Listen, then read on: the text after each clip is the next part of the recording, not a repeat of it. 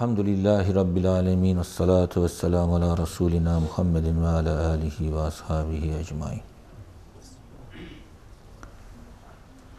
Evet. Aziz Sıddık, hakikatli, ahiret kardeşim ve ciddi ve kuvvetli arkadaşım. Şimdi Üstad Hazretleri imani meselelerde sahibi rüç ve dava olmakla beraber dinin bütün meselelerinde de bu asra bakan ihtiyaca mebni çok mühim konuları halletmiş, kendine terettüp edeni hakkıyla ifa etmiş ve gitmiş. Hatta yani bir gözün mesela hedefle gördüğü bir manzara vardır. Bir de o manzaranın sağında solunda gözün teban gördüğü yani bil kast değil, bil vesile gördüğü de malzemeler vardır. Mesela diyelim ben karşıda levhaya bakarken veya size bakarken kasten sizi görürüm. Bir de gözün görme alanı içerisinde kasıtlı olmayan ve etrafı çevreyi dihat etme alanı vardır. Aynen bunun gibi muazzez üstadımız iman hizmetini hedefleyip hizmet-i imaniye noktasında bu eserleri telif ederken üslupta, tarzda, verdiği örneklerde ve çerçeve çizerken de yine bazı meseleleri bizim idrakimize sunuyor. Bir iş yaparken çok iş yapıyor yani. Şimdi tele, cep telefonunun gayesi nedir? Haberleşme vasıtasıdır, öyle değil mi? Haberleşmenin dışında öyle işler yapıyorlar ki cep telefonuyla. Belki yüz iş. Daha teknoloji geliştikçe bu bilgisayara da dönünce daha farklı olacak. E bu kulun teknolojisi. Allah'ın sistemi son sistem. Kulun teknolojisi ona yetişemez. Değil mi? Şimdi mesela Kur'an-ı Kerim'de nazara verilen meselelerde bir ana hedef var.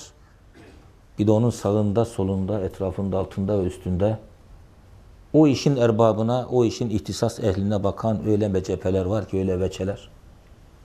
O zaman ana hedef avama, çoğunluğa, ekseriyete bakıyor. İhtisas konuları, hususi nazik meseleler ehline, erbabına bakıyor. Yani. Şimdi elbisede esas nedir? Giyimdir. Kışın kıştan, yazında sıcaktan emniyete alma babından değil mi? Sistemler öyle çalışır. Fakat bir adam elbise yaparken öyle meselelere dikkat ediyor ki artık şimdi organik kumaşlar çıkmaya başlamış. Güneşin ışığını görür görmez temizleniyormuş. Bak şimdi.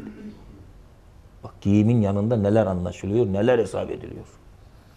Şimdi Üstad Hazretleri de bir meseleyi nazara verirken bize çok şeyler kazandırıyor. Aynı gözün kapsama alanı gibi. Bakın nasıl bu aziz, sıddık, hakikatli ahiret kardeşim ve ciddi ve kuvvetli arkadaşım. Aziz kardeşim demiyor. Efendime söyleyeyim, Asım kardeşim demiyor. Asım abinin sualine cevap verecek. Onun başına vasıflar, sıfatlar, metü senalar ekliyor. İşte burada bize bir şey öğretiyor. Hitap şekli, konuşma şekli, muhatabı ikna etme noktasında ve güzellikleri ona intikal açısından değil mi? Onu doyurma, onu tatmin etme, onu memnun etme hislerini de burada örnek olarak nazara veriyor. Bunu merak ettim. Baktım Kur'an'da da aynen böyle. Cenab-ı Hak Habibim Muhammed, Resulüm Muhammed. Halilim dostum Peygamber İbrahim Aleyhisselam'a. Hep başa vasıflar ekleyerek onların isimlerini kastetmiş. Demek ki bütün güzellikler, konuşmanın adabı, hitabın adabı da menba ve kaynak itibariyle semavi Kur'an'dan geliyor. Ha, birbirimize de hitap ederken yalın ismini söylemek değil, Osman Bey kardeşim, değerli yoldaşım değil mi? Mehmet Bey Efendi gibi tabirler İslamidir, Kur'anidir ve dinidir. Burada da onu öğretiyor. İlk başta niye bu vasıfları ekliyor? Hem dua manasında oluyor hem de insanı onure ediyor, memnun ediyor yani. Bu nereden geliyor? Kur'an Kur'an'da, bizim dinimizde konuşmanın adabı böyledir. Kur'an-ı Hakim'in baş haşiyelerinde Ayat-ı Kur'aniyenin adedi 6666 olmakla. Kur'an-ı Kerim'de kaç tane ayet var? 6666 ayet var. Bu rakam bazı İslam alimlerine göre mezhep inanışlarına göre farklı olabilir. Ama ekseriyet Kur'an-ı Kerim'in ayetlerinin 6666 olduğunda ekseriyet ittifak etmiş. Biz de ekseriyetin kanaatını nazara alarak, alarak üstadımızın nazara verdiği konuyu dinleyelim. Üstad da ekseriyetin nazara aldığı bir konuya e, ehemmiyetli görüyor ve o açıdan bakıyor. Kur'an-ı Hakim'in baş haşiyelerinde ayet Kur'aniyenin adedi 6666 olmakla. Niçin 6666 ayet? Bunun hikmeti var. Dedik ya Allah bir şeyi nazara verdi mi çok hikmet ve sebepler anlaşılır orada. Mesela niçin sabah namazında o vakitte iki rekat? Niçin? İşin esas cephesi kulle Allah arasında ihlas ve samimiyet, ubudiyet boyutu ihlasla ölçülür.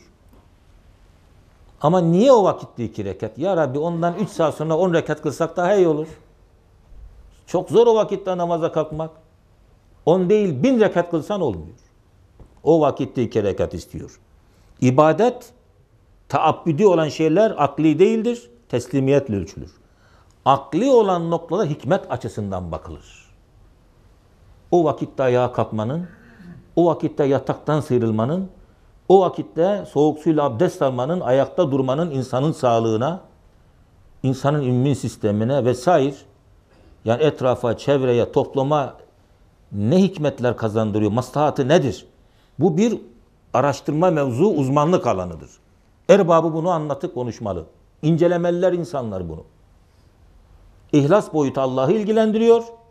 O vakitte bütün insanları namaza kaldırım hikmet boyutunu da bize bırakıyor Allah. Esasında o da bizim için de. Cenab-ı Hak kendiyle münasebetini emir noktasında kuruyor. Yani insanlar kendi hikmetlerini düşünerek bu işi yapmazlar. Emri ilahiye bakar korkarlar. Cehennem azabından kaçınır yaparlar. Bu da kendilerine faydalı olur. Emniyet kemerini takmak bilimseldir. Bilimseldir. Avrupa emniyet kemerini değil mi? Korkudan dolayı takmıyor. Hayatının bir vazgeçilmez unsuru olarak takıyor. Avrupa'da müeyyide bile olmasa Avrupa emniyet kemerini takar. Bizde cezadan kaçmak için takıyoruz. O için bile olsa faydalı mı değil mi? Ha, bak gördün? Bak ceza için bile takmak faydalı. Devlet onu emretmekle 3-5 kuruş gelsin de kasam dolsun diye düşünmüyor. Bu vatandaş buna bilimsel yaklaşmaz. Kendi menfaatini, sağlığını düşünmez. Trafik kurallarını çiğner. Ben buna ceza koyun da cezadan korksun ki sağlığı ayakta dursun. Mesela bu. Allah iki rekat o vakitte namaz emrediyor. Bu benim emrimdir yapacaksınız. Yapmazsanız cehennem var. Ya Rabbi iki, iki, iki vakit o saatte değil de ondan beş saat önce yüz rekat kılsak olmuyor. Kabul etmiyor. Neden? O vakitte kalkmanın, ayakta durmanın bize, topluma, çevremize, sağlığımıza temin ettiği faydaları Allah bilir, biz bilemeyiz. Yeni yeni uzmanlar keşfetmeye başlamışlar. Şimdi Kur'an-ı Kerim'de Cenab-ı Hak 6666 ayet indirmiş. Rakam Cenab-ı Hak'la irtibatlı. Vasıflı bir insan konuştu mu konuşmaların yeri, kelimelerin tertibi birbirle münasebetinden manalar çıkar. Hele hele bu diplomasi oldu mu, diplomat dili oldu mu onun altında romanlar yazılır. Ne kastediliyor acaba bundan? Neler kastediliyor? Ben hudutta askerlik yaptım. İşte diyelim deriz, deriz İstanbul'dan Kars istikametine yedi tane bulut geçti. Yazarız. Yani Erivan'dan Erivan'dan e, Leninakan'a yedi tane tank geçmiş. Niye? Çünkü diplomasi dilidir. Dinleniyoruz. Takip edildiğini Rusya'nın bilmemesi lazım. Elbet. Bulut tank. Bulut tank oluyor evet. Ve bu tabirler devamlı değişir. Biz zavallı insanlar değil mi bu meseleyi düşünürsek, nazara alırsak kainatın sultanı olan Cenab-ı Hak bir rakam telaffuzunda, rakamı nazara vermede, zeytini, zeytine yemin etmede, incire yemin etmede ne hikmetler var acaba? Neler var? Devlet başkanı konuşuyor. Falan kelimeyi niçin burada değil de şurada kullandı? Niçin onun ismini üç defa, diğerinin ismini iki defa zikretti? Bunlara bile dikkat edilir. Protokol vardır burada çünkü. Adamların oturuşundan, konuşmasından, üslubuna kadar manalar çıkar.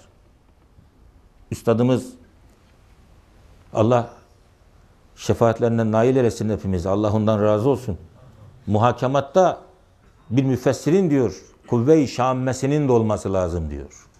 Kur'an'da her mesele akılla alınıp ilimle absorbe edilmez. Bakın bazen aklın yaya olduğu, ilmin kifayet etmediği yerler vardır. Bazı ruhun latifelerin algıladığı manalar da vardır. Bu manalar lisanla telaffuz edilemeyebilir. Ama ruh ve kalp bunu hisseder. Elmanın tadını alır mıyız? Limonun. Tarif et. Yaz bakalım hele. Ne yazacaksın? Bin defa elmanın tadını anlatacağına bu cemaate ver bir dilim elma yesin daha hayırlı. Daha iyi anlatır kendini. Bazı şeyler hali ve vicdanidir. Ruhun latifelerine hitap eden manalar akıl ve idrakle, ilimle, matematiksel açıdan bakılıp anlaşılmaz, idrak olunmaz. Peki ne olacak? Kuvve-i şamme dediği hissiyatlar açık olacak bir müfessirin. Harp diplomatı gibi diyor. Harp dip diplomatlarının kokuyla aldığı neler de vardır? Stratejik programlar, projeler vardır. Dolayısıyla diyor, harp diplomatı gibi olan, kuvve-i şammesi açık, koku alma duygusu açık, zemahşeri, men yuhil izame ve hiyaramim diyen Übey ibn Halef, elinde bir çürümüş ke kemik almış, yıllanmış bir kemik. Ya Muhammed, men yuhil izame ve hiyaramim. Kim bu çürümüş kemiği diriltecek? İki parmağı almış, parmağının arasına çürümüş bir kemik alıyor, onu ufalıyor. O da un gibi ufalanıyor. Buradan ahireti inkar ediyor adam. Bu çürümüş kemiği kim diriltebilir? 40. hocam diyor, o zavallı. O kemik yaşarken şu kemikler yoktu. Onlar ufalayan kemikler. Yoktu. O, o hayat sürüyordu. O yaşarken yok olan kemikler olmuş, vücuda gelmiş. Yaşamış gitmiş bir kemiği ufalıyor. Diyor ki bunu kim diriltecek? O gene var, tozu var. O kemikken bunlar yoktu. Bunlar yoktan var eden Allah tozu bir yere getirip kemik mi yapamaz? Ya Übey İbni Halef'in aklı 40. hocamdan belki daha iyiler olabilir ama üstad farkı işte bu. Ve düz zaman elinden tuttu mu Übey İbni Halef'in sırtını yere getirir. Üstad da öyle buyuruyor. Muhittin Arabi Hazretleri ilgili bir sual soruyorlar. Demiş ruhun mahlukiyeti inkişafından ibarettir. Muhittin burada ne demek istemiş? Kardeşlerim bana böyle sualleri sormakla Osmanlı cellemalarda. Belki intikal edemeyebilirsin. Okumadıysan orada geçiyor. Yani ben külliyatçı okudum. Nereden geçiyor değil mi? Hatırlatayım yerini. Osmanlı cellemalarda kardeşlerim bana böyle bir suali sormakla benim gibi sinekleri kartallarla uçmaya davet ediyorsunuz diyor. Kartal Muhittin Arabi Hazretleri. Fakat ben sinek dahi olsam madem üstadım Kur'an'dır. Ona dayanarak bu meseleleri izah etmeyi Allah bana lütfetmiş, nasip etmiş. O kartallarla uçmaya hazırım diyor üstadımız. Niye? Üstad farkı. Kur'an'ın nuru var. Kur'an hakikati onun imdadına yetişiyor. Kartallara dinler mi bu iş? Şimdi dolayısıyla meseleyi nereye getireceğiz? Yani Kur'an-ı Kerim'de Allah konuşunca diplomasi ince sırlar nazara verilir ve fevkalade farklıdır. İşte o zemahşeri denen kendi Türk ama Arap Araplardan daha mükemmel Arapçayı biliyor. Yüksek tepeye çıkmış demiş ey Araplar gelin lisanınız ecdadın lisanınızı lisanını benden öğrenin demiş. Gelin de size ecdadınızın lisanını öğreteyim. Kim ecdadın lisanı ne? Arapçanın aslı Resulullah döneminde daha eskiden beri yaşamış bir kabilenin lisanı esas Kur'an Arapçası o. Mudar kabilesinin. Kelamı mudari dediğimiz Mudar kabilesinin kullandığı lehçe Kur'an'ın Arapçası. Hani Türkçeler var ya Erzurum Türkçesi var. Of'un Türkçesi var. Of'un Türkçesini siz daha iyi bilirsiniz. Siz Oflusunuz. Diyarbakır'ın Türkçesi var değil mi? Bir de işte diyelim Antalya'nın Yörüklerin Türkçesi var. Bir de İstanbul Türkçesi var. İşte hakiki Türkçe okunan, yazılan Türkçe esasında İstanbul Türkçesidir. Arapçada bu anlamda çok çeşitli şivelerle konuşulur. Esas Arapça, Kur'an Arapçası Allah'ın Kur'an-ı Kerim'de Arapça olarak takdir ettiği lehçe Mudar kabilesinin kullandığı Arapçadır. İşte Türkiye'de bir adam Arapça öğrenirse Mudar kabilesinin Arapçasını, Kur'an Arapçasını öğreniyor. Hatta Arapçayı çok iyi bilen bir kardeşimiz Suudi Arabistan taraflarına seyahate gittiğinde bir pazarda normal Arapça konuşuyor. Adam böyle konuşmasına bakmış, üslubuna, adabına. Konuşmayı bitirince demiş ki Arap sadakallahul azim. Sanki ayet gibi konuşuyorsun sen. Bu ne belagat. E kendi of Arapçası konuşuyor oranın. İstanbul Arapçasını duyunca adam kulakları açılmış yani. Sadakallahul azim demiş. Şimdi Zemahşeri diyor ki bu ayete mana verirken üstadımız öyle buyuruyor. Yani men yukil izame ve hiye ramim. Kim bu çürümüş kemiği diriltecek? Buna böyle mana vermemiş Zemahşeri. Bu zahirdir. Oradan şunu anlamış. Şiveyi ifadeden, konuşmasının adabından ve şeklinden men yabruzu ilel meydan manasını istişmam etmiştir diyor Zemahşeri. Yani bu adam diyor ki bu ifadeyle, üslupla bu kemiği kimse çürütemez. Allah'la mücadele etmek istiyor kudret noktasında. Adamın niyeti ahiret anlamak değil. Allah'la mücadeleye girmek. Ona o mana verilmez demiş Zemahşeri. Bak bu da bir mana. İşte bu manayı çıkartmak için akılla değil, burunla yaklaşmak lazım. Yani koku alma duygusu gibi ruhun latifelerin algıladığı manalar vardır. Akıl onu alamaz. Akıl onu idrak edemez. Mesela bir örnek daha verelim. İza ca nasrullah la başlayan sure nazil olduğu zaman bütün sahabeler keyifleniyor bir sure daha geldi diye. Herkes keyifleniyor. Bir müstesna. Kim o? Hazreti Bekir Efendimiz ağlıyor. Hüzünlü, morali bozuk. Fevç fevç İslamiyet'e insanların girdiğini göreceksin. Ya Bekir sen niye üzülüyorsun? Bak biz seviniyoruz bize bir sure daha gönderdi Allah. Siz sevinin diyor. Bu sure her kemalin zevaline işarettir. Resulullah'ın vefatı yakındır. O manayı çıkarıyor şimdi. Kimse anlamıyor yani. Neyle alınır bu? E işte lati, ruhun latifelerin aldığı mana akıl görmüyor işte. Göremez yani. Üstadımız buyuruyor. Gözün gördüğü bir nesneyi bir adam eliyle almaya kalkıp sıçramaya kalksa ne kadar başarılı olabilir ki? Şimdi buradan göz diyelim karşıdaki levhayı görüyor. Buradan atlayarak onu madem gözüm elimde alır mantığıyla yaklaşmak, eli perişan etmek, hayatımızı tehlikeye atmak anlamına gelir. Aynen bunun gibi ruhun ve kalbin ince latifelerin algıladığı manayı akılla atlayarak almaya çalışmak çok müfessir, çok şeylerin e, felsefecilerin ayaklarını kaydırmış, kaza geçirtmiş, telef etmiştir. Onu İmam-ı Azam'a yetişememişler. İslam alimlerinin semtinden geçememişler. Kelam ilminden gelen hakikatlerle muttali hakikatlere muttali olmaya akıl kifayet etmez. Orada akıl yarım ve yolda kalır yani. Şimdi burada da Kur'an-ı Kerim'de Cenab-ı Hak 6666 ayet indiriyor.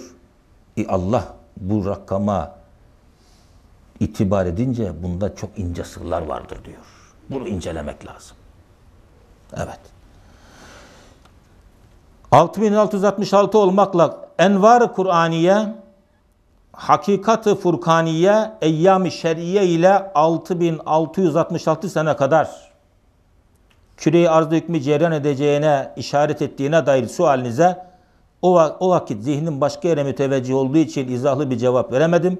Sonra bana ihtar edildi ki Asım'ın suali ehemmiyetlidir. Cevap ver. Ben de o ihtara binaen üç esasla bir parça izah edeceğim. 6666 ayetin insanlık ömrüne, küre arzın ömrüne ve kainatın ömrüne olan işareti akılla alacak bir mana değil. Bediüzzaman'ın menfezleri açık, latifeleri ihatalı muhit olduğundan dolayı müfessirlerin hiç temas etmediği konuları bizim nazar dikkatimize sunuyor bakın işte. Bediüzzaman farkı bu işte. Başka eserlerde bunları bulamayız biz yani. Evet. Birinci esas. Nasıl ki nuru Muhammedi, Peygamber Efendimizin nuru ve Hakkat Ahmediye aleyhissalatü vesselam divan nübüvvetin hem fatihası hem de hatimesidir. Peygamber Efendimizin görüleniş gayesi. Onun nübüvvet mesleğinin esası divan-ı nübüvvetin nübüvvet mesleğinin, peygamberlerin gönderilişini bir kitaba benzetirsek bir divana benzetirsek onun hem başı hem de sonudur. Kainat nereden yaratılmış? Peygamber Efendimizin ruhundan aleyhissalatü vesselam veya nurundan. Nerede sonlanmış? Onun bedenini takdimle sonlanmıştır. Bitti. Çekirdek de o, meyve de o. Çekirdek ve meyve o olduğu gibi bütün peygamberlerin gönderdiği hakikat İslamiyet'in Peygamber Efendimizin Aleyhisselatü Vesselam nübüvvetinin ve onun getirdiği kitabın başlangıçları, mebadileri, iptidalarıdır. Hepsinin adı İslamiyettir. Bütün kitapların adı Kur'an'dır. Bütün dinlerin adı İslamiyettir. Bütün nübüvvetlerin hakikati Peygamberimizin nübüvvetidir Aleyhisselatü Vesselam. Ama Resulullah gelene kadar, Kur'an-ı Kerim gönderene kadar, İslamiyet nasip olana kadar başka isim ve perdeler altında Allah onları kademe kademe göndermiş. Hepsi de İslamiyet'e, hepsi Peygamber Efendimizin dinine, nübüvvetine ve kitabına hizmet etmişler. Yani şöyle diyebiliriz. Bütün ilkokuldaki hocalar, bütün okutulan dersler, bütün o öğretim ve eğitim müfredatı ve sistemleri nereye hizmet ediyor? Üniversiteye. Üniversite okulların hem başıdır hem de sonudur. Bu okulları kaldırın. Sırf üniversiteler olsa ilk giden talebe üniversite nereden başlayacak? ABC'den başlayacak. Mecbur. Bu okullar onun imdadına yetişiyor. Yani orta dereceli okullar olmasa, anaokullar olmasa, liseler olmasa, tek bir tek tip üniversiteler açılsa, biz de onlara talebe olsak, bir matematik profesörü gelse bize integralden mi başlar? Limitlerden mi çarpım tablosundan başlayacak? Belli canım. Budur. Demek ki üniversitelerin hakikati eğitimin hem başıdır hem de sonudur. Aynen bunun gibi. Nasıl ki matematikte dört işlemden başlanır. Coğrafya dünyanın yuvarlaklığından başlanır. Değil mi? Fizikte işte malum kurallar. Cenab-ı Hak da ilk peygambere dört işlemi göndermiş. Bunlara çarpım tablosunu öğret bu insanlara. Harflerden başla. Dünyanın yuvarlaklığından bak bak. Yani madde de böyle, mana da böyle. Maddede de taşı yontmuşlar, taşı iyice alamışlar. Ateşi yeni buluyorlar. Maneviyatta da 10 tane emir. Bereket versin. 10 tane emir. Bunu yaşa cennete git. Adem Aleyhisselam getirdiği o emir bizim Kur'an-ı Kerim gibi ulvi eser kadar onların açısından zor ve güçlüdür. İnsanlar gelişmemiş tıfiliyet, çocukluk döneminde yürümesini bilmeyen beşere Allah çarpım tablosunu öğretiyor. İntegral kadar zordur. Ama onların bol bol gönderilmesiyle iş Resul-i Kibre'ye hazırlık olmuş, dinimize altyapı oluşturmuş, Kur'an-ı Kerim'e mebadiller, başlangıçlar anlamına gönderilmiştir. Bütün memleketlerde, bütün eğitimlerde, bütün millet ve devletlerde ilkokul ve ortaokul hocaları lise hocalarından azdır. Çoktur. Çoktur. Doğru mu? Çoktur. Lise hocaları, ilköğretim hocaları da üniversitedeki profesörlerden çoktur. İlk öğretimde mi çok talebe var, üniversitelerde mi çok talebe var? Tabii. Yukarı doğru çıktıkça adet azalır, keyfiyet artar. Aşağı doğru indikçe adet fazlalaşır, keyfiyet düşer. Şimdi okullarda kaç çocuğa bir öğretmen tayin edilir azami? 25-30 tane. 25-30 tane ilkokul hocasını ancak bir talebesine bir hoca tayin edebiliriz. Ama bugün üniversitelere gelin bin kişinin, üç bin kişinin, beş bin kişinin ders dinleyici anfiler var. Beş bin kişiye bir hoca kifayet ediyor. Beş bin ilkokul talebesine bir hoca verirseniz başına ya hoca dengeyi bozacak veya talebeleri niflahını sökecek. Başka türlü eğitim veremez. Mahveder ortalığı. Ama gel üniversitelerde demek ki kalite arttıkça eğitim kemale erer, yüksek seviyeden gider hoca tevhid birleştirilip tevhid edilebilir. Diğer peygamberlerin bol bol gönderilmesi aleyhisselam. Tüm insanlık yetiştirile yetiştirile kademe kademe bir üstattan ders almaya, bir dinden istifade etmeye, bir kitaptan ilham almaya müstahit hale geldi. Gelince Cenab-ı Hak peygamberi dini ve kitabı birleştirdi.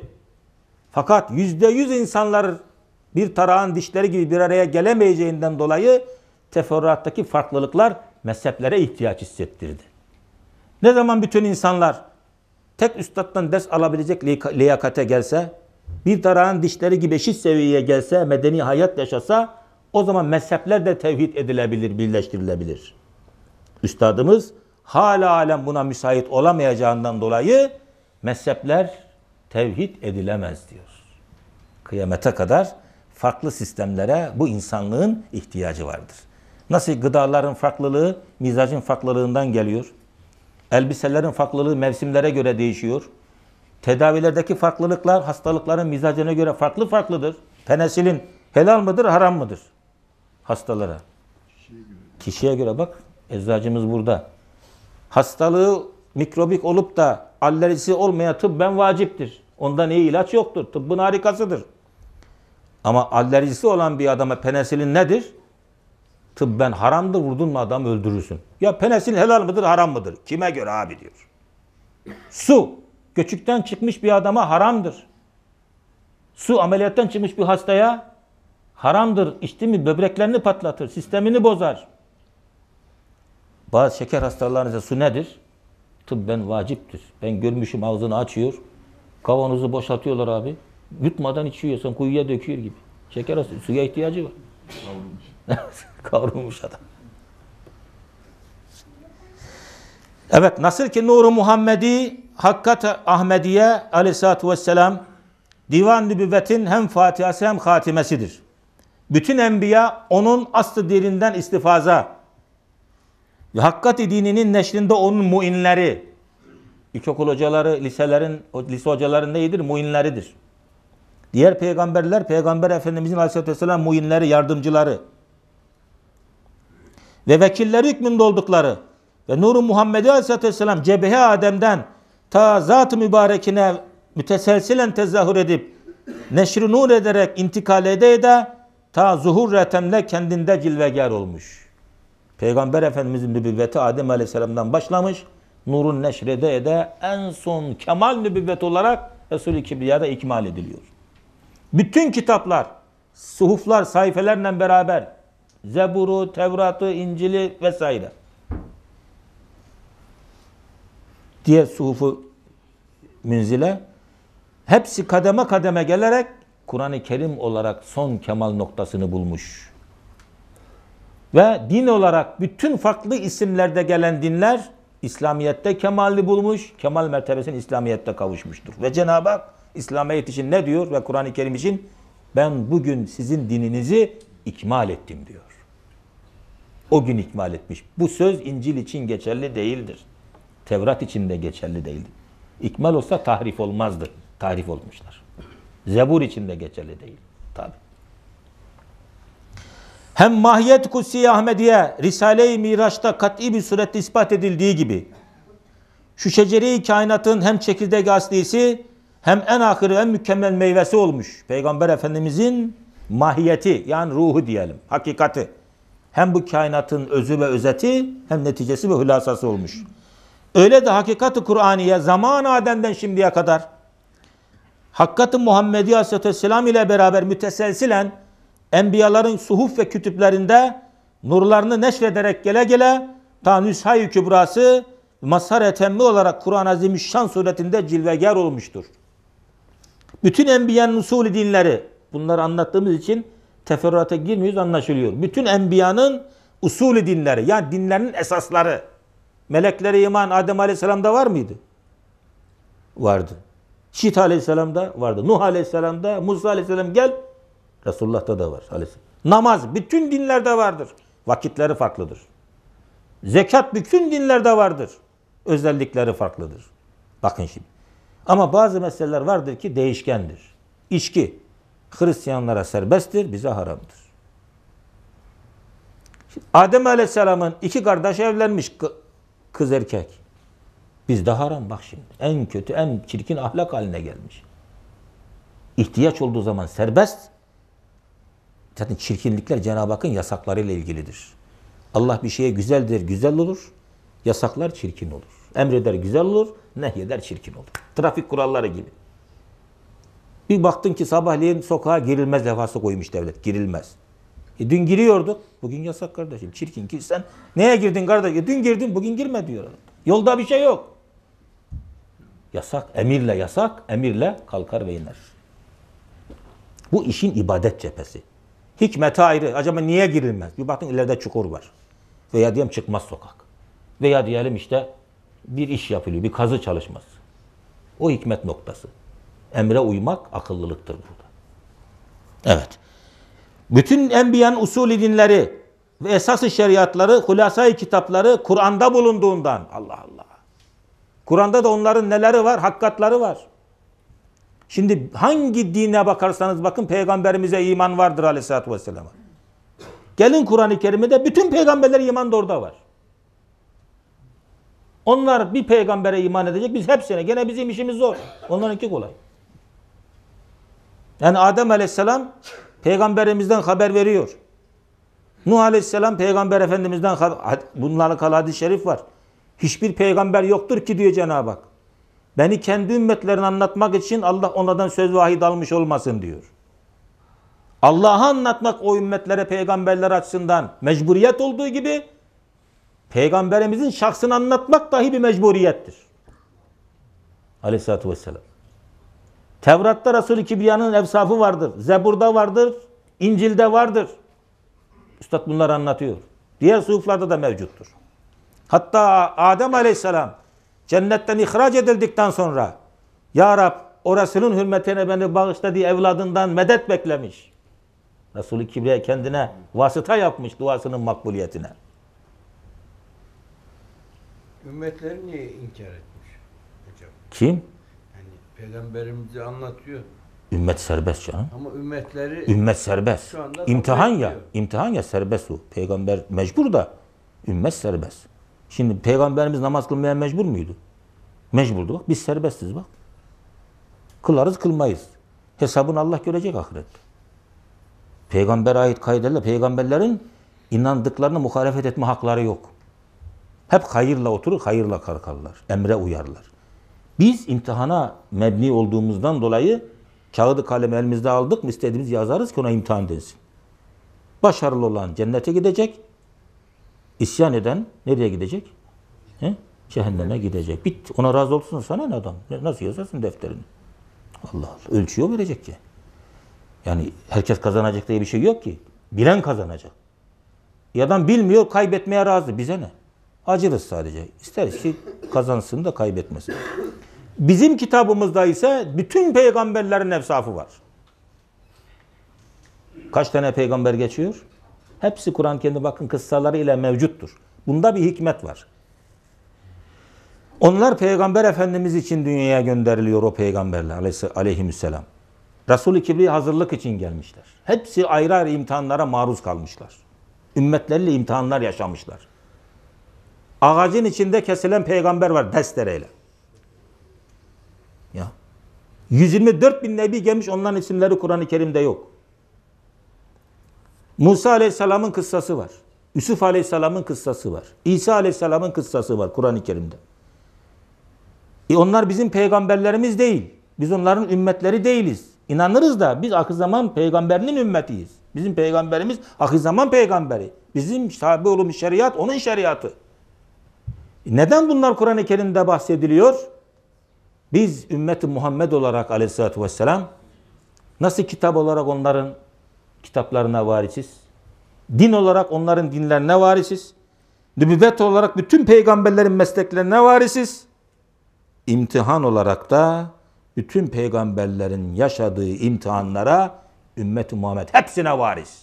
Hepsi bizim üzerimizde yaşanıp yaşatılacak. Bu demektir. Kur'an'da bunların kıssalar anlatılıyor ki onlar nasıl davranmışlar sizlere örnek olsun. Şimdi Yusuf Aleyhisselam kimle imtihan oldu? Kadınla. Kadınla. Galet heytelek gale maazallah. Kaçtı. Şimdi bakın çarşılarımıza, alışveriş merkezlerimize, okullarımıza. Bakın pazarlarımıza. Ha? Var mı Yusuf Aleyhisselam imtihanından kaçamak isteyen? isteyen? Çok zor.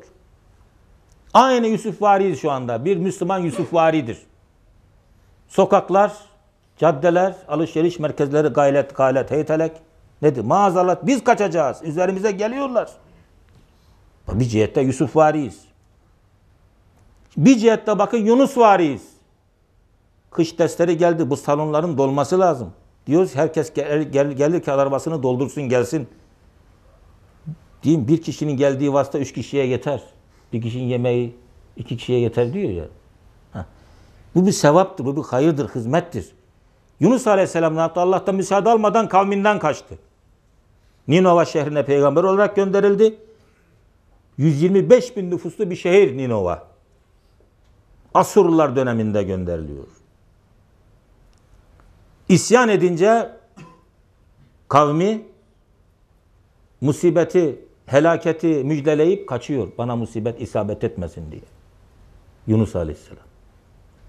Kavmi bakıyor Yunus'un dediği, Yunus Aleyhisselam dediği bulut gelmeye başladı. Eyvah dediği doğru çıkacak. Helak olacağız. Bulun Yunus'u da tövbe edelim, dönelim, nedamet edelim dediler. Yunus Aleyhisselam yok. Müsaade almadan Rabbinden kavmini terk etmiş. Bir peygamber müsaade gelmeden gidemez. Bak tövbe edecekler adamlar. Peygamberini bulamıyorlar. Vazifesinden bir derece nakıslık. Ne demişler? Ya Yunus yoksa Rabbimiz var. Yalvarın demişler Rabbimize. Allah Allah. Yalvarmışlar Rableri. O da balığın karnına giriyor. Neden? Kavminden kaçmanın bedelidir. Şimdi ibadetten kaçmak, manevi hizmetlerden kaçmak, üzerimize düşen vazifeyi ifa etmemek bizi manen balığın karnına sokar. Nefsin ablukası altına alır, boğazımızı sıkar bizim nefis. Biz de bu noktada bir cihette de Yunus variyiz. Abi kalk derse giderim. Ya şimdi yeni geldim. Yemekteyim şimdi rehavet bastı. Şimdi haberler de başlayacak. Ya şu falan şey var. Seyredeceğim mesele var neyse. Ka- Kafaları karıştırmayalım. Ya bugün de gitmeyeyim. İşte bitti. Bu cihette Yunus variyiz. Girdik nefsin tahakküm altına. Onu balık sıktı. Dünya hayatını karartacak. Bizim sıkan nefis ahiretimizi de karartıyor. Yunus Aleyhisselam daha tehlikeli vaziyetteyiz. Bir cihette de bak Yunus variyiz. Eyüp Aleyhisselam neyle imtihan oldu? Hastalıklarda. Ha bakın hastanelere. Bakın has- evlerimize bakın, komşularımıza bakın. Bir cihette de Eyüp variyiz. Hangi peygamber, hangi imtihanla diyeyim baş başa kalmışsa bu ümmet Muhammed Aleyhisselatü Vesselam bütün onların imtihanlarına da varis. Sevap kazanacağız ya. 60 yılda onların yaşadığı 300 yıllık ömrün neticesini alacağız ya. İmtihanlar da bol olacak tabi o zaman. Yüksek peygamberin ümmeti olmak da neyi icap ettirir? İmtihanların da şiddetini icap ettirir. İsa Aleyhisselam nebi olmak başka bir imtihanı icap ettirirdi. Ama Peygamber Efendimiz'e ümmet olmak bütün peygamberlerin maruz kaldığı imtihanların tamamından geçmeyi icap ettiriyor. Makamın yüksekliğinin hakkı hukuku budur. Elmas oldun mu? Öyle demirin ateşi bizi eritemez. Çok kuvvetli ateş lazım bize. O zaman elmas olma. Demirle iktifa et. Ufak bir ateşte erirsin. Seni bir kalıba sokarlar. Makine parçası yaparlar bak. Ama elmas olmaya niyet ettin mi? Demir eriten ateş bize ne yapamaz? E, Ya ısındıramaz bize. Oyuncak gelir ya. Evet.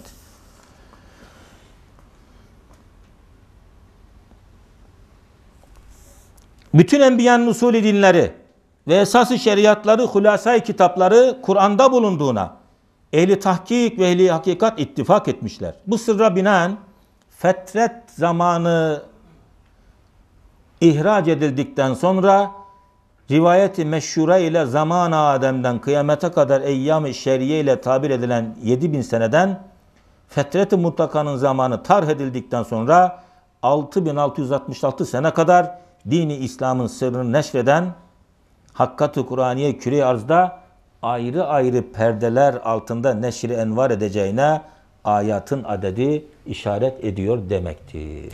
Çıkarttı bak mesela. Evet. 7 600 yıl civarında bir fetret dönemi var İsa Aleyhisselam'la Peygamber Efendimiz arasında Aleyhisselatü Vesselam.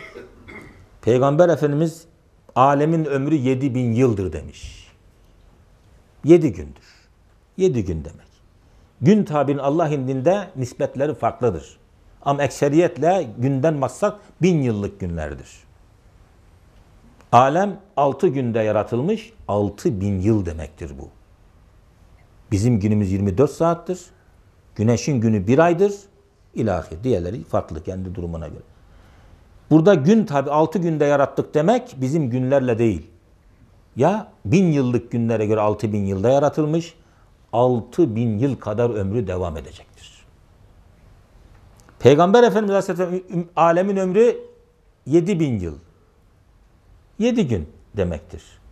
sürecek demesindeki maksat veya kendisinin dininin hakikatları bu kadar ce- cereyan edeceğini alameten Kur'an-ı Kerim'de 6666 ayetin sırrı hikmeti tüm alemin ömrünün de bir yerde biteceğini ne kadar devam edeceği, devam edeceğiyle alakalı da bize yuvarlak bir şey hesap nazara veriyor. E 6666'ya fetreti de ilave ettik mi zaten 7000 yıl civarında bir süre çıkıyor. Şimdi burada Üstad bunu biraz daha açacak. İkinci esas malumdur ki küre arzın mihver üzerinde hareketiyle gece ve gündüzler. Dünyanın kendi etrafında dönmesinden ne meydana gelir? Gece ve gündüzler. Medar senevisi üstündeki harekatıyla yani yörüngeç üzerinde dönmesiyle de seneler hasıl oluyor, mevsimler. Güneşle beraber her bir seyyarenin belki sevabitin ve şumusun dahi her birinin mihver üzerinde eyyam-ı mahsusalarını gösteren bir hareketi ve medarı üzerinde devranı dahi bir nevi seneleri gösteriyor. Sistem aynı. Şimdi elektronların bir günü var, bir de neyi var? Senesi var. Elektronun kendi etrafında döner, bir de çekirdeğin etrafında gezerler. Çekirdeğin etrafında gezmeli onların seneleridir. Kendi etrafında dönmeleri günleridir. Ak yuvarlar hem kendi etrafında gezerler hem de kanı dön gezerler. Kanı gezmeler onların seneleridir. Kendi etrafında dönmeleri günleridir. Al sistemi uygula kainata. Dünya kendi etrafında dönmekle günleri, güneşin etrafında dönmekle mihveri, seneleri meydana getirir. Aynen güneşin bir kendi etrafında dönmesinden meydana gelen günü var. Bir de güneşin mihveri dediğimiz bir yıldızın etrafında dönüyor ki o da onun senesini oluşturuyor. Bütün yıldızlar için bu kaide geçerlidir. Bak insanlar için de bu vardır. Kendi mihverimizde döndük mü geceyle gündüzle yaşarız. Medar senedimizde gezdik mi yıllarca yaşarız. Bak kendi etrafında dönenler kendileri beraber gitmişler, günlük yaşamışlar. Toplum için yaşayanlar, rıza ilahi için hareket edenler, hizmet ifade ise saltanatları devam ediyor. Abdülkadir Geylani mesela yaşıyor. Medar senevisi uzun. Ama sultanlarınki gitmiş bak şimdi. Buradan bir nispet çıkarabiliriz abi. İşte bu da bir çeşit akılla alınamayan bir şey hissiyat yani bak. Bak buralara kadar bu nüfuz edebilir bu hakkı. Devam edelim. Halık arz ve semavatın hitabat ezeliyesinde o eyyam ve seneleri dahi ira ettiğine delili şudur ki Furkan-ı Hakim'de sümme ya'rucu ileyhi fi yevmin kana miktaruhu elfe sene mimma ta'uddun ta'rucul melaiketu ve ruhu ileyhi fi yevmin kana miktaruhu hamsin elfe sene gibi ayetler işaret ediyor, ispat ediyor. Evet kış günlerinde ve şimal taraflarında şimal nere? Kuzey. Grup ve tulu mabeyninde güneşin batmasıyla doğması arasında 4 saat günden tut. Hollanda'da bir ara bulunduk. Dediler bu da yatsı namazının vakti yok dediler abi. Niye? Akşam giriyor. Yatsı vakti girmeden sabah oluyor. Siz daha iyi birisiniz abi. Var değil mi? Heh. Tut ta güneşin mihveri üzerinde bir aya yakın yevminden. Güneşin kendi etrafında dönmesi ayda bir defa olur. Güneşin bir günü bir aydır. Hatta kozmografyanın, kozmografya astronomi ilminin rivayetine göre Rabbu Şira tabiriyle Kur'an'da namı ilan edilen ve güneşimizden büyük Şira namında bir diğer güneşin belki bin seneden ibaret olan gününden bir yıldız daha var Rabbi Şira. O kadar büyük ki şimdi güneş dünyamızdan 1 milyon 300, 300 bin defa büyük. 1 milyon 300 bin defa büyük. Bu büyüklüğüne göre ağır başlı bir yıldız. Ağır dönüyor. Kendi etrafında bir defa dönebilmesi için bir ayın geçmesi lazım. İman büyük olunca cemaati de ona göre oluyor yani. Kaç tane gezegeni var? 12 tane cemaati var güneşin. Ona yakışır. Dünya da bir yıldız da kendi etrafında dönüyor. Onun da bir tane cemaati var. Ay. Niye? Bir günlük dönmeye bir cemaat yeter. Hareket versinler. İsa Aleyhisselam dönmüş dokuz tane gezegen götürüyor etrafında. Peygamber Efendimizin bakın mihverinde döndükten sonraki cemaatine 1400 yıl geçmiş hala bir buçuk milyar insan geziyor onun etrafında. O da yıldız, o da yıldız işte. Rabbü Şira denen bir yıldız var. Kendi etrafında bir defa dönmesi için bizim yılımıza göre bin yıl geçmesi lazım. Hele bunun cemaatini düşünün siz. Şimdi gelelim bir başka yıldıza. Ta Şems-ü Şumus'un Vega yıldızı dediğimiz güneşler güneşi olan bu yıldız bu da Allah'ın saltanatının büyüklüğünü gösteriyor. Mihveri üstündeki 50 bin seneden ibaret olan yevmine Vega yıldızının kendi etrafında bir defa dönmesi için 50 bin yıl geçecek. Bütün fani alem bu yıldıza doğru gidiyor işte. Onun da cemaati bütün fani alem. Yani lev, arş, kürsi, cennet, cennet, cehennem, siddet-i müntaha, kabı, kavse, muhanev alemleri çıkın. İmtihana medar ne kadar fani Allah'ın yıkacağı alem varsa hepsinin cazibesi nereye? Vega yıldızına. Oraya doğru gidiyor. Hala daha kavuşamadı. Asırlardan beri gidiyor oraya doğru. E, imam büyük olunca cemaatini çekiyor işte. Evet.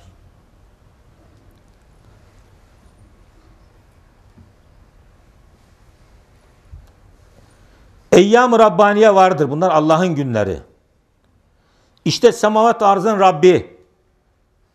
O şems-i şumus ve şiranın halıkı. Hitap ettiği vakit o semavat ve arzın ecramına ve alemlerine bakan kutsi kelamında o eyyamları zikreder ve zikretmesi gayet muvafıktır, yerindedir. Madem günlerin Allah'ın Kur'an'ında, lisan-ı şer'ide böyle ıtlakatı, geniş şumullü manaları vardır. İlmi tabakatul arz, coğrafya, tarihi beşeriyet ulemasınca Nevi Beşer'in 7000 sene değil, belki yüz binler sene geçirdiğini de teslim etsek, Adem Aleyhisselam'dan kıyamete kadar ömrü beşer 7000 senedir. Hepsi 7000 sene. Dünyanın da ömrü 7000 sene. Küre arzın da ömrü 7000 sene. İnsanlığın da ömrü 7000 senedir. Bu takribi bir rakamdır. Gaybı ancak Allah bilir.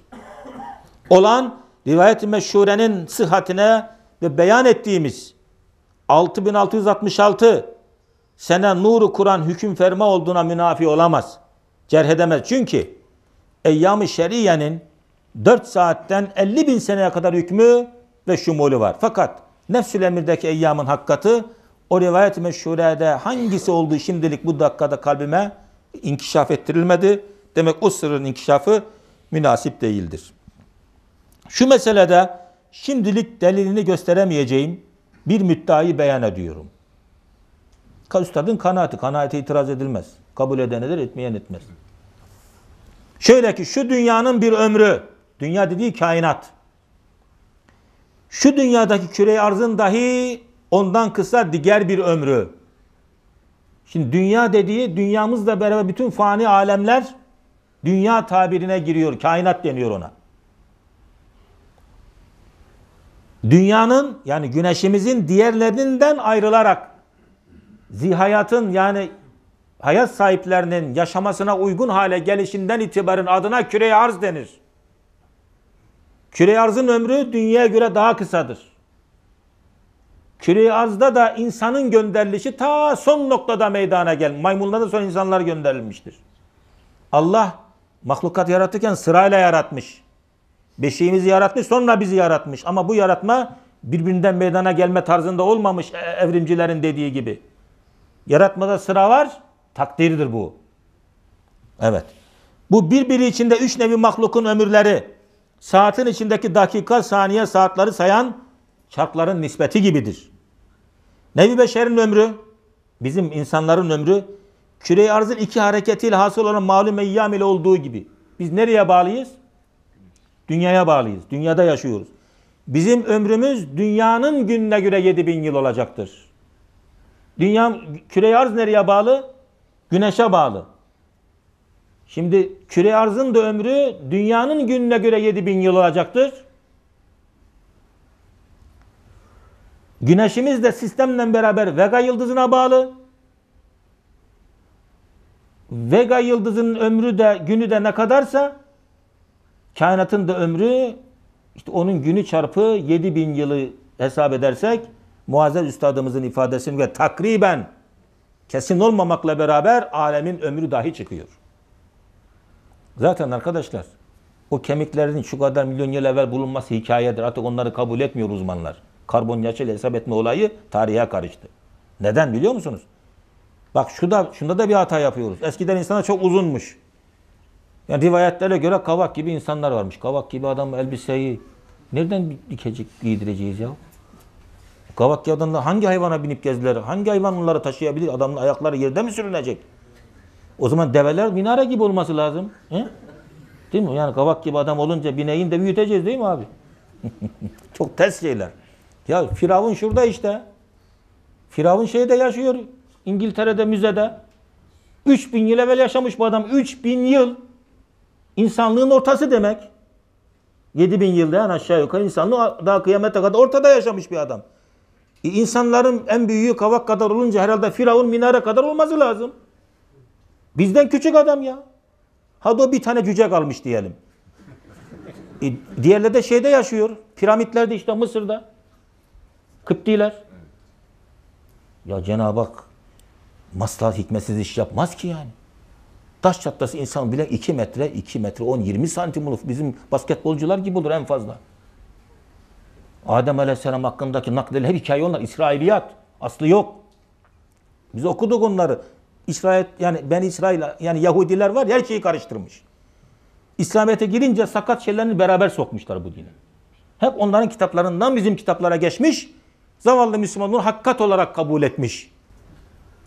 Bu birbiri içinde üç nevi mahluk, mahlukatın ömürleri saatin içindeki dakika, saniye, saatleri sayan çarklara nispeti gibidir. Nev insanın ömrü küre arzın iki hareketiyle hasıl olan eyyam ile olduğu gibi zihayatın vücuduna mazhar olduğu zamandan itibaren küre arzın ömrü ise merkez irtibatı olan şemsin hareket mihveriyesiyle hasıl olan eyyam ile olması hikmeti Rabbaniye'den uzak değildir. Ve dünyanın ömrü ise şems-ü şumusun hareketi mihveriyesiyle hasıl olan eyyam iledir. Şu halde nev insanın ömrü 7000 sene eyyam-ı malume arziye ile olsa 24 saatlik günler hesabına göre olsa küre arzın hayata menşe olduğu zamandan harabiyetine kadar eyyam-ı şer'iye ile 200 bin seneden geçer. Ve şems-ü şumusa tabi ve alemi bekadan ayrılıp küremize bakan dünyaların ömrü her bir günü 50 bin sene olmasıyla yani Şems-i Şumus'un mihveriyle alakalı 7 bin sene o eyyam ile 126 milyar sene yaşarlar demektir. Demek ki yani kabaca kesin rakam Allah bilir. Dünyanın kainatın yaratılışından kıyamete kadar alem 126 milyar yıl yaşayacak.